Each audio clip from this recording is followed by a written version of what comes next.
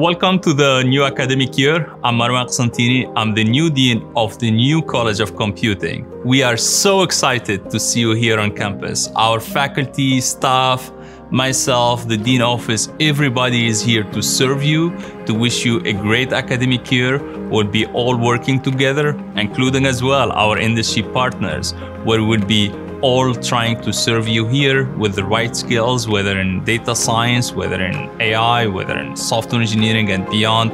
So if you see me on campus, so please stop by, say hi. I really want to learn about you, about your journey here, and go Lakers.